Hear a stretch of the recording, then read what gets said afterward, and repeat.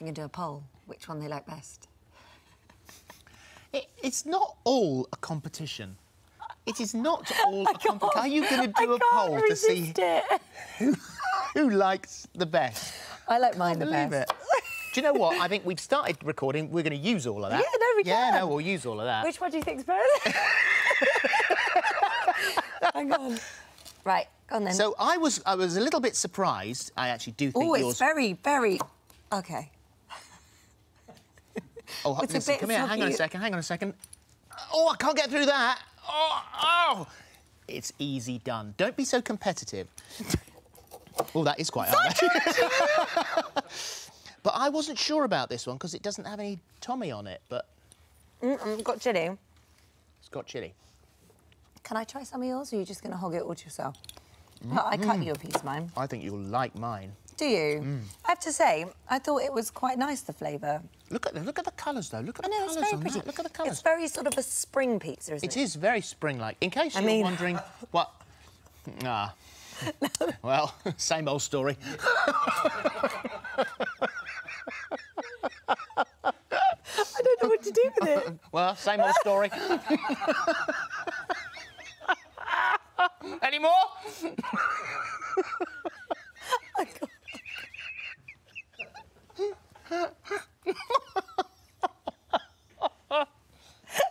Hang on, I'm to have to do this. Otherwise, it's going to be too weird. Mmm. Mmm. Like it? Mm-hmm. There we go. The mint and the. Not the cucumber, what's that stuff called you cook? Courgette. Mm, it's good. It's very good. You like it? Still prefer mine. Okay.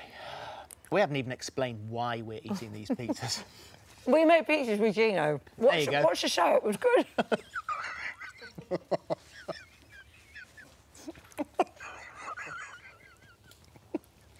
we're good, aren't we?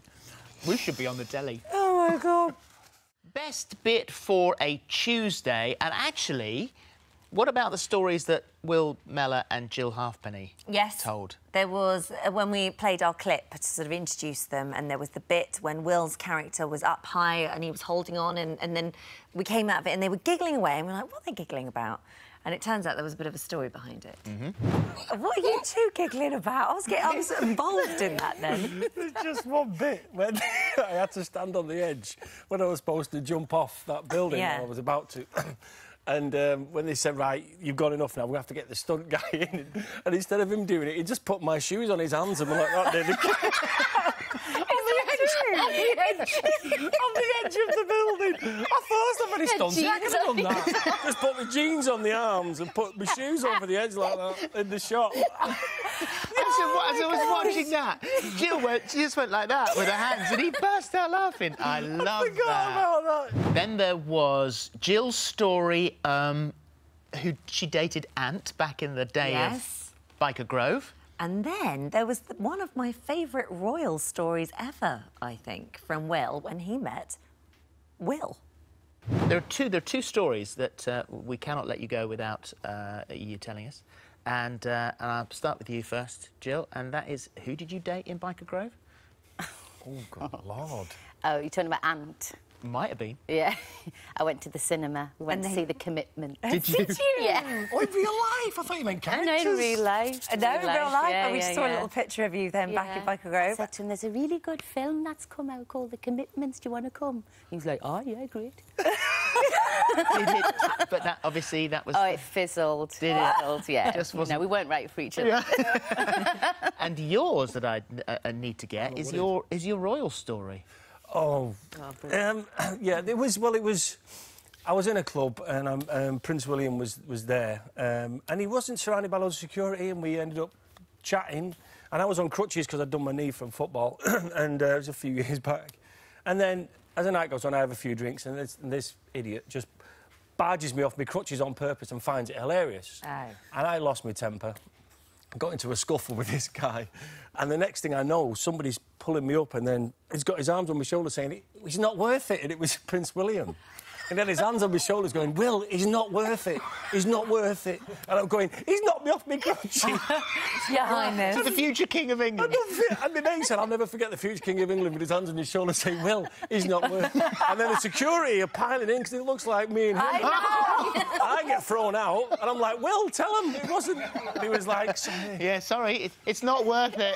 But he was a lovely guy, really lovely guy, and uh, I, yeah, I got through out. But That is a great story. Best bit for today, I'm going to choose Gareth uh, Gates, who came in to talk to us about all the various different musicals he's in at the moment and all things that are happening in his life.